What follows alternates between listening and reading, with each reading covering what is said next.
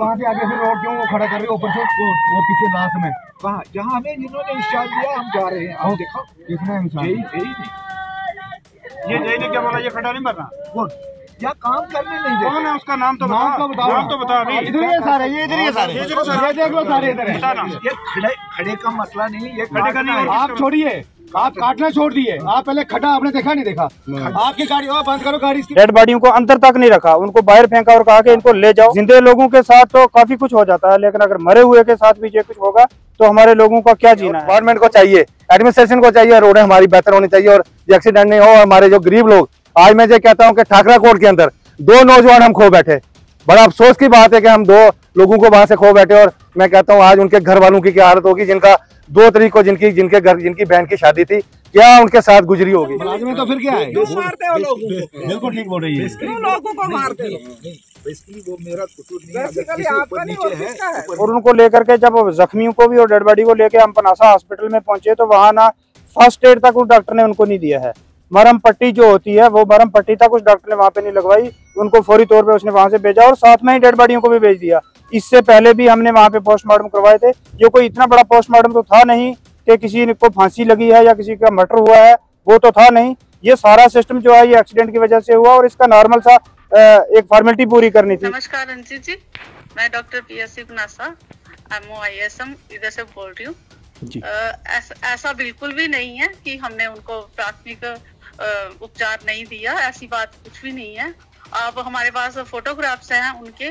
इधर से बाकायदा उनको फ़र्स्ट एड दी गई है और 108 एंबुलेंस बुलाई गई थी और उनको शिफ्ट किया गया डिस्ट्रिक्ट हॉस्पिटल रियासी क्योंकि उनकी हालत क्रिटिकल थी। और डेड बॉडीज भी इधर रखी गई थी। तो लेकिन उनको हम इधर इसलिए नहीं अंदर रख सकते थे क्योंकि हमारे पास मॉर्चरी नहीं है। कल थुब एरिया में एक एक्सीडेंट हुआ जिसमें हमारे उसमें चार लोग बैठे थे दो मर गए और दो जो जख्मी थे जम्मू हॉस्पिटल में भेजा। रात को जब वहाँ पे एक्सीडेंट हुआ तो वहाँ का जो हमारा ठाकराकोट पीएससी पनासा में वहाँ के जो डॉक्टर थे वहाँ पे जो जख्मी लोग थे वो भी वहाँ पे आए उन, उनको भी उन्होंने नहीं देखा। और जो वहाँ पे जो लोग एक तो हॉस्पिटल में दम दिया एक तो पीछे ही डेथ हो गई थी। हमने कई दफ़ा कहा कि जो पोस्टमार्टम कोई हैंकिंग होता है, जहाँ कोई घिर के मर जाता है, वो घर वालों को शक होता है, किसी ने मार के इसको फंदे पे नहीं लटका दिया, जहाँ कहीं मार के गिरा दिया।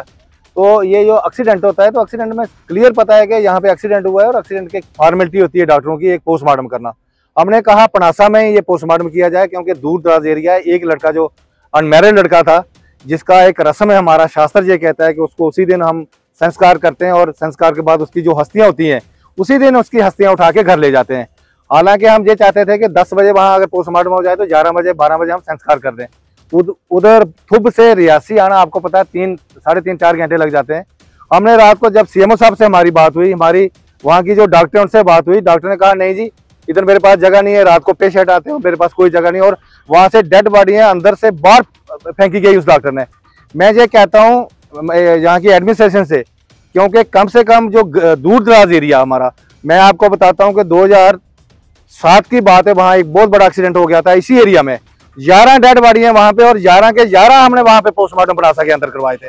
और हालाँकि कई दफ़ा हमने आज भी, अभी एक दो साल पहले कोई वहाँ पे ऐसी बात हो गई तो हमने वहाँ मौके पे पोस्टमार्टम करवाए। हम ये नहीं कहते कि इतना दूर दराज एरिया से यहाँ पे आके पोस्टमार्टम और फिर घर कब पहुँचना और कब संस्कार होना है ये जो नकलीजेंसी है मैं कहता हूँ मेडिकल जो डिपार्टमेंट है इनकी नकलीजेंसी से ये यहाँ पे आ, ये डेड बॉडियाँ जहाँ पहुँची और जो जख्मी थे उनको भी उनकी ट्रीटमेंट वहाँ पे नहीं की गई। रियासी थोड़ी हमारी ट्रीटमेंट होके और सीधा जम्मू रेफर आज एक लड़का वहाँ से उन्होंने छुट्टी कर दी रात को ही। मगर इतना क्या है कि किसी को सीधा वहाँ से टीका तक नहीं कोई वहाँ पे ट्रीटमेंट होती है छोटी मोटी ट्रीटमेंट तक नहीं दे सकते इतना बड़ा हॉस्पिटल इतना बड़ा अगर गवर्नमेंट खर्चा कर रही है किस लिए कर रही है? एक दूसरा मैं ये कहता हूँ कि वहाँ की जो हमारी रोडें हैं उस एरिया की, मैं ये कहता हूँ डिपार्टमेंट से कि रोडें वहाँ से बेहतर करें। आज ये रोड की वजह से एक्सीडेंट सारा हुआ है। हालाँकि ये जो लोग मर गए बेचारे, इनके घर में शादी थी, इनकी बहन की शादी थी और शादी का सामान लेके जा रहे थे और कई लोगों को दावत देने, एक जो आदमी मर गया, वो दावत देने गया था। मैं कहता हूँ कि ठेकेदार कश्मीर से आके जहाँ काम कर रहे हैं और कश्मीर के जितने ठेकेदार कश्मीर से आके जम्मू सूबे में काम कर रहे हैं, मैं कहता हूँ बिल्कुल नकली काम कर रहे हैं और जाली काम और मैं कहता हूँ इनके जो डंगे, इनकी जो रोड की वो है बिल्कुल नहीं है। और डिपार्टमेंट को चाहिए एडमिनिस्ट्रेशन को चाहिए, रोडें हमारी बेहतर होनी चाहिए। और ये एक्सीडेंट नहीं हो, हमारे जो गरीब लोग, आज मैं ये कहता हूँ कि ठाकरा कोट के अंदर दो नौजवान हम खो बैठे।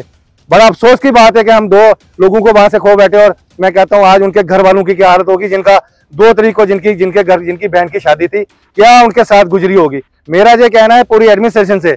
मैं डीसी साहब बड़े अच्छे हैं, जहाँ रियासी में मेरी उनसे भी गुजारिश है कि चाहे मेडिकल का अमला हो, चाहे ये डिपार्टमेंट रोडों के डिपार्टमेंट हो, इनको कम से कम अपना डिपार्टमेंट को बेहतर करने के लिए अपने सही काम करना चाहिए, ये मेरा कहना है। आज बड़े दुख की बात है कि आज हम डिस्ट्रिक्ट हॉस्पिटल रियासी में मौजूद हैं और हमारा आना इस वजह से हुआ कि हमारे कल वहाँ एक एक्सीडेंट हो गया, जो कि दो नौजवान हमारे थे, वो इस दुनिया फानी से चल बसे और उनको लेकर के जब जख्मियों को भी और डेड बॉडी को लेकर हम पनासा हॉस्पिटल में पहुँचे तो वहाँ ना फ़र्स्ट एड तक उस डॉक्टर ने उनको नहीं दिया है।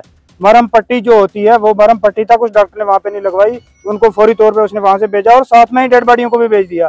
इससे पहले भी हमने वहाँ पे पोस्टमार्टम करवाए थे। जो कोई इतना बड़ा पोस्टमार्टम तो था नहीं कि किसी को फांसी लगी है या किसी का मर्डर हुआ है वो तो था नहीं। ये सारा सिस्टम जो है ये एक्सीडेंट की वजह से हुआ और इसका नॉर्मल सा एक फॉर्मेलिटी पूरी करनी थी।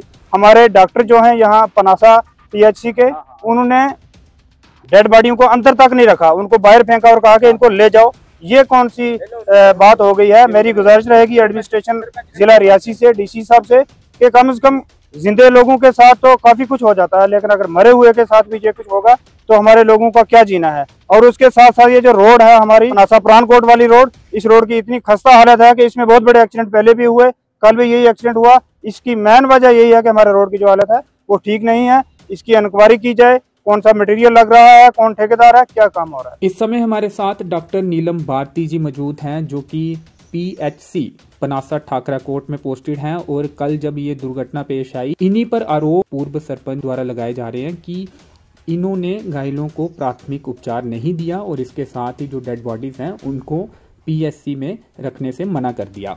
तो इन्हीं से इनका पक्ष जो है, वो जानने की कोशिश करते हैं।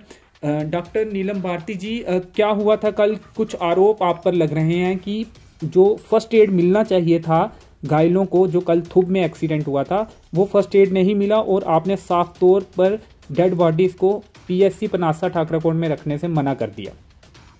नमस्कार रंजीत जी मैं doctor PSC Panasa M O I S M इधर से बोल रही हूँ। ऐसा, ऐसा बिल्कुल भी नहीं है कि हमने उनको प्राथमिक उपचार नहीं दिया ऐसी बात कुछ भी नहीं है। अब हमारे पास फोटोग्राफ्स हैं उनके। इधर से बाकायदा उनको फ़र्स्ट एड दी गई है हम्म। और 108 एंबुलेंस बुलाई गई थी और उनको शिफ्ट किया गया डिस्ट्रिक्ट हॉस्पिटल हम्म। रियासी क्योंकि उनकी हालत क्रिटिकल थी। हम्म। और डेड बॉडीज भी इधर रखी गई थी। तो लेकिन उनको हम इधर इसलिए नहीं अंदर रख सकते थे क्योंकि हमारे पास मॉर्चरी नहीं है। तो हमने डिस्ट्रिक्ट हॉस्पिटल रियासी उधर फ़ोन किया था कि हम ऐसे ऐसे डेड बॉडीज आपके उधर पहुँचा रहे हैं क्योंकि उनका पोस्टमार्टम अगले दिन ही होता है है ना? रात को तो होना नहीं था। नहीं। तो रात को रखने के लिए हमारे पास कोई सुविधा नहीं थी कोई रूम नहीं था। एक्चुअली मॉर्चरीज में रखी जाती हैं डेड बॉडीज तो ओपन में या वार्ड में तो मैं रख नहीं सकती थी क्योंकि इधर रात को भी इमरजेंसीज आती हैं फिर हमने हमें मुश्किल हो जाती थी और लोगों को भी बाकियों को भी मुश्किल हो जानी थी। तो इसलिए हमने वो पहुँचा दी एंबुलेंस के थ्रू पहुंचाई थी। ये भी लोगों ने कहा है कि पट्टी तक नहीं की गई थी। क्या इस पर... वो आप डिस्ट्रिक्ट हॉस्पिटल रियासी भी फ़ोन कर सकते हो कि क्या जो क्रिटिकल भेजे थे इधर से हम्म, हम्म। उनको पट्टी वगैरह स्टिचेस वगैरह और इंजेक्शन वगैरह दिए गए थे या नहीं दिए गए थे। हम्म, ये बिल्कुल अपने से बातें बना रहे हैं ऐसा कुछ भी नहीं था। तो हाँ पोस्टमार्टम क्या वहाँ हो सकता था? सुविधा है वहाँ पे पोस्टमार्टम पोस्टमार्टम की इधर कोई सुविधा नहीं है। इसीलिए उनको वैसे भी कल भी डिस्ट्रिक्ट हॉस्पिटल रियासी भेजना था। तो हम्म। इससे बेटर था कि हम रात को इधर क्यों रखनी थी उनको? इसीलिए हमने आगे भेज दिया था। हम्म, हम्म, जी चलिए कुछ फोटोग्राफ्स हैं फ़र्स्ट एड उनको देने के। हमारे पास बाकायदा वो भी हम आपसे शेयर कर देते हैं। जी चलिए शुक्रिया। ठीक है? शुक्रिया शुक्रिया।